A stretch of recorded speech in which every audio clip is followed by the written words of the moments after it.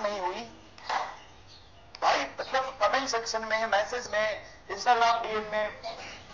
Sir, आप please PW नहीं छोड़िएगा। मेवाड़ सर पीडब्ल्यू छोड़ दिए। मतलब क्लास के नीचे, बच्चे के नीचे। सर, आप छोड़ दोगे तो फिर कैसे होगा? आप गरीब बच्चे कैसे पढ़ेंगे कहाँ पहुँच जाते दो दिन क्लास हुई नहीं कि सबने छोड़ दिया। अच्छा चलो, ये तो ठीक है। सर आप घूम रहे हो लेक्चर नहीं ले रहे हो, हमारा बैकलॉग हो जाएगा, हमारा सिलेबस कैसे कंप्लीट होगा? सर क्लास अपसेंट करते हैं वेरी इरेगुलर टीचर ठीक है। और आपकी हेल्थ बहुत खराब हो गई है, हम दुआ करते हैं। अपने बाद अपने मन से क्या क्या सोच लेते हो भाई? थोड़ा मेच्योर बनो, हो सकता है कोई साल में पढ़ाते हैं, बीच में कभी कोई काम आ जाता है। तुम्हारे घर वाले भी कहीं बहुत नौकरी करते होंगे। कुछ ना कुछ काम करते होंगे, अपना काम करते होंगे। तो एक दो दिन बीच में किसी काम की वजह से छुट्टी तो लेना पड़ जाता है ना। भी फैमिली वर्क हो सकता है, कुछ हो सकता है।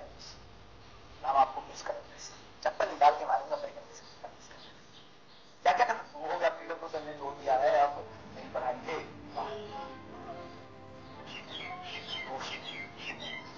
अब मुझे समझ में आया कि तुम्हें ओवर थिंकिंग का सिखा और एकदम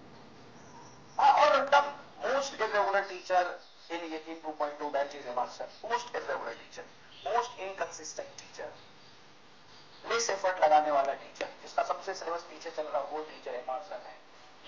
बस ज़्यादा हो रहा है। ज़्यादा नहीं हो रहा है। मैसेज में इंस्टाग्राम पे टैग टैग दे देखो मैं तुम्हें दिखाता हूँ। ज़्यादा लग रहा हूँ। नमस्कार।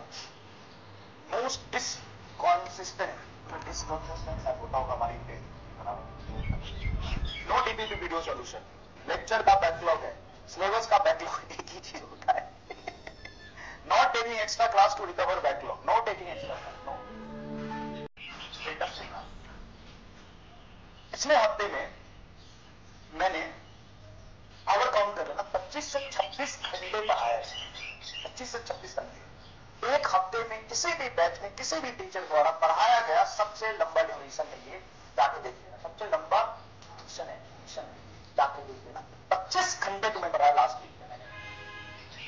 और चैलेंज देता हूँ कि आने आने वाले सदियों तक एक वीक में अगर कोई 25 से 26 घंटा पढ़ा दे तो। ऑन एन एवरेज छह दिन की क्लास मानो, छह दिन की वीक मानो तो हर दिन चार घंटा। छह क्लास बारह घंटा वो, और तीन रिविजन लेक्चर चार चार घंटे। सॉरी पाँच पाँच, साढ़े चार साढ़े चार घंटे। तो पैदल हो जाए दिमाग से?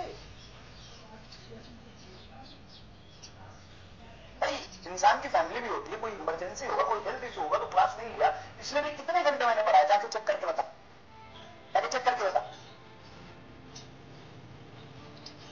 तो पेशेंस रखता सर अब जिस दिन दस मिनट एक्स्ट्रा पढ़ा लेता हूँ एक्स्ट्रा क्लास रख लेता हूँ फिर भी गाली जाता हूँ घर के काम की वजह से छुट्टी ले लेता हूँ उस दिन भी गाली जाता हूँ तो मास्टर है कि हम गाली खाने वाले इंसान है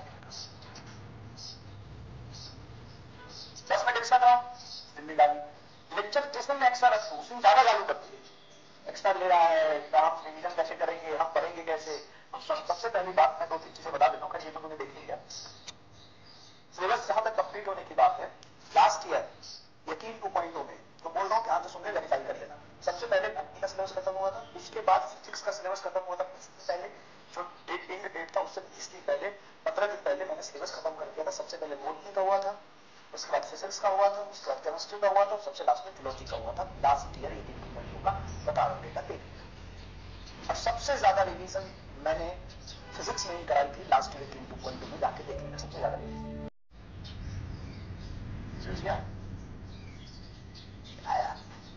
अब कोई मतलब टीचर कहेंगे कि उसको गाली खाने का मशीन है वो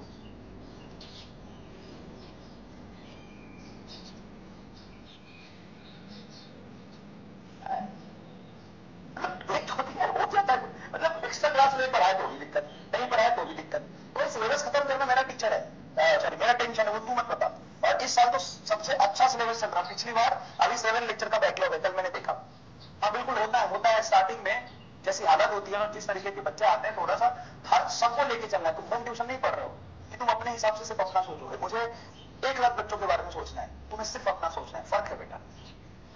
मैं एक बार में सबके बारे में एक जैसा नहीं सोच सकता हूँ। कुछ भी करूँगा, कुछ लोगों को दिक्कत हमेशा होगी, ठीक है? तो लेक्चर प्लानर और इन सब की टेंशन को छोड़ दे। सिलेबस जो एंड डेट है, उससे मैं मिनिमम मिनिमम दस दिन पहले तो खत्म करा दूँगा बहुत अच्छे से रिविजन भी करा दूँगा बैकलॉग में कर दूँगा वीडियो सुन लेंगे, इसलिए मैं फाइनल दे देता हूँ। डीबीबी वीडियो मैं टिक दूँगा।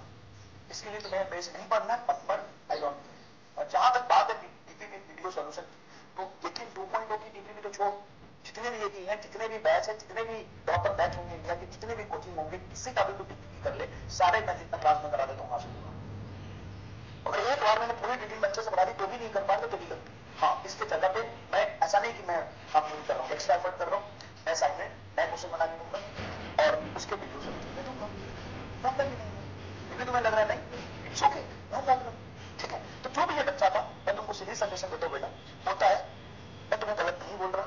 होता है, कई बार हम अपने करियर को लेकर अपने फ्यूचर के लेकर इतना परेशान हो जाते हैं कि ओवर थिंक करने लग जाते हैं, है ना? तो हो जाता है, कोई प्रॉब्लम ये अंडरस्टैंड अगर इतना तो चिंता मत करो, हम यहाँ पे सब ठीक हो जाएगा। और ये तुम जिस बैच में पढ़ रहे हो, ये this is not a game this is not getting batch this is not dropper batch this is result machine ये सच में रिज़ल्ट मशीन ये रिज़ल्ट मशीन है। पैरेलली तुमको भी उतना एफर्ट्स लगाना है अगर आप कह रहे हो ना ये ड्रॉपर बैच है तो नहीं इस बैच को बाकी बैचों में से मत लो हम आपसे अलग हैं हम ड्रॉपर बैच हम सबसे अलग हैं हम अलग हैं हमसे हम रिज़ल्ट मशीन है हमसे बैच नहीं थोड़ा आपको मेहनत करना पड़ेगा बाद हमें जो कंटेंट मिलेगा आप बोलोगे 99 परसेंट तक ज़्यादा ही मिला था।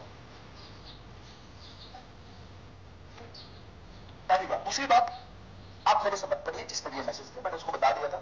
मेरे बहस करने लगा कि सारे टीचर अच्छे हैं सिर्फ़ आपको छोड़ कर ठीक, कोई बात तो फिजिक्स का कोई टीचर पढ़ लो होता है बेटा कभी कभी किसी से फ्रीक्वेंसी मैच नहीं करता है। तो नहीं समझ में यही आता है कि समझ में हाँ आता है तो फिर थोड़ा सा तुम्हें कम, वो करना पड़ेगा। कॉम्प्रोमाइज करना पड़ेगा बाकी पढ़ोगे तो प्रॉब्लम क्या होगा कि आगे कुछ भी होगा ना। तुम पहले से निगेटिव हो जाओ चीज़ को लेकर दिक्कत हो। थोड़ा सा अलग से, थोड़ा सा। अभी सेपरेट हो जाओगे तो सही है ठीक है? Thank you so much thank you so much चलिए, आगे बढ़ते कोई बात नहीं। चलिए, फटाफट। तो आज हम लोग क्या पढ़ने वाले हैं? आज हम लोग क्या पढ़ने वाले हैं? तो आज हम लोग क्वेश्चंस ऑन कांस्टेंट डेसिलेशन करेंगे। क्वेश्चंस ऑन कांस्टेंट डेसिलेशन पर भाई फ़र्क पड़ता है यार मतलब हद है। ज़्यादा पढ़ाओ तो भी गाली खाओ, कम पढ़ाओ तो भी गाली खाओ। क्वेश्चन कराओ तो भी गाली खाओ थ्योरी पढ़ाओ तो भी गाली खाओ। ज़्यादा पढ़ा दो तो गाली खाओ स्लो पढ़ाओ तो गाली खाओ। मतलब गाली खाओ बस। एक दिन एक्स्ट्रा क्लास ले लो, हज़ार मैसेज आ जाता है। हम रिविजन कब करेंगे, हम क्वेश्चन प्रैक्टिस कब करेंगे तो सब तू ही करेगा। सजेशन रखते हैं यहाँ पे। तेरा पहली बार है, यहाँ पे हर साल का यही काम है। जो बेटा है ना, वो रिज़ल्ट मशीन है। समझ गया?